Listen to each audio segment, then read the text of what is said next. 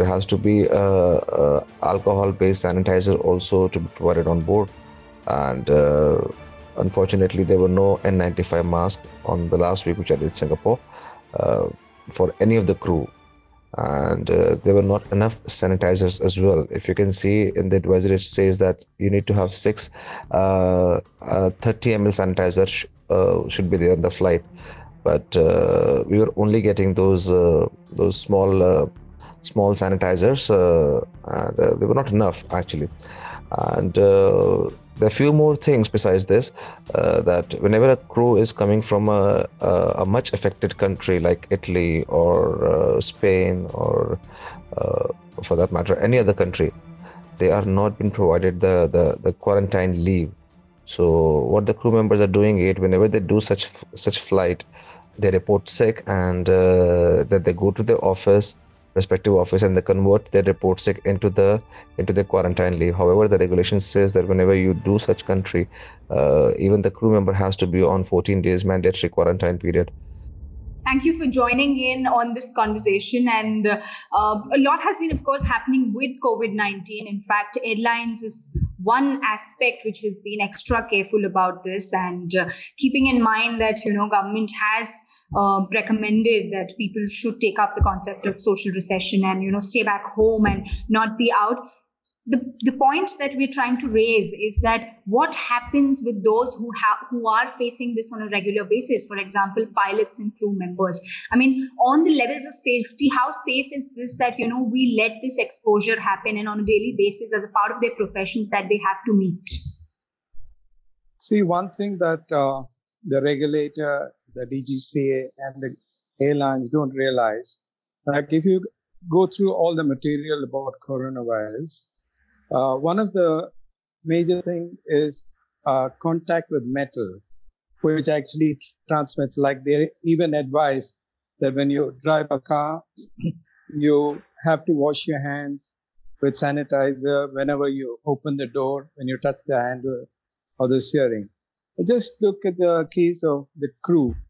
Like the cabin crew, they'll have to handle the main door, the cabin doors, the cockpit door, the toilet doors. All of them have metal handles.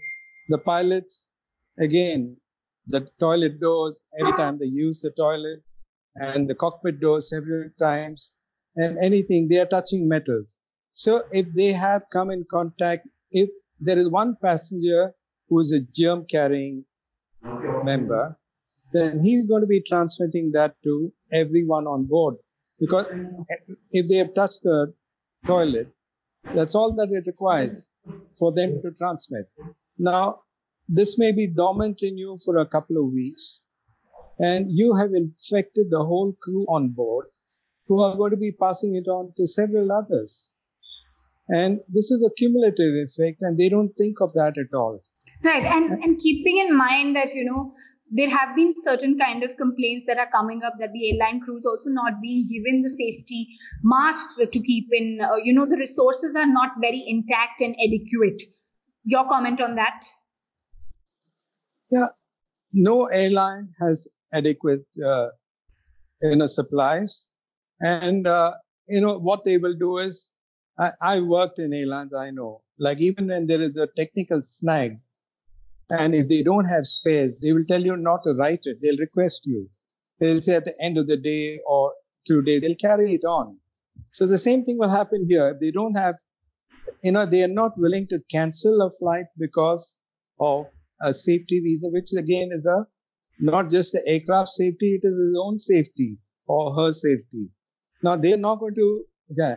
Now, when you come to a stage where you may lose your job because you know, if you refuse, you are a marked person. I, I've heard of Air India crew who've been targeted because they've refused to operate. And uh, the same thing, and in private carriers, it's worse. They don't even have a union to defend them. And this is something that airlines and regulators should know that only commercial interest is not sufficient. You've got to look at safety, not just the aircraft safety, the personal safety of the crew.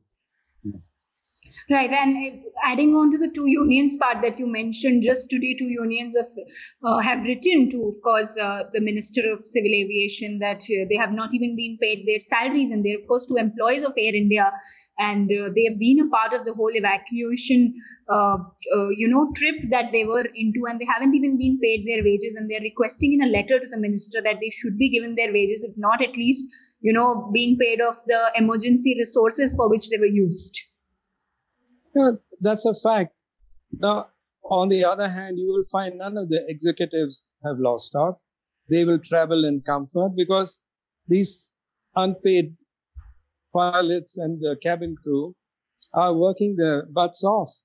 And nobody appreciates, but if they refuse to operate a flight, they will all jump saying that it is anti-national and rubbish like that. But it is a fact that if you're not paid your salary, you know you have a lot of personal commitment. So you have crew who are operating with financial stress, their own safety stress because of their health. They're exposed to all this, but nobody appreciates what they do. They will only point out that somebody has refused to operate a flight. And the way the management functions, I've heard of several threatening calls which are made now, and I asked them to produce the call logs of all the management people and the cabin crew who have refused or the pilots who have refused. Then you will find out that a large majority of them are forced to operate a flight, which is not safe at all. All right, sir.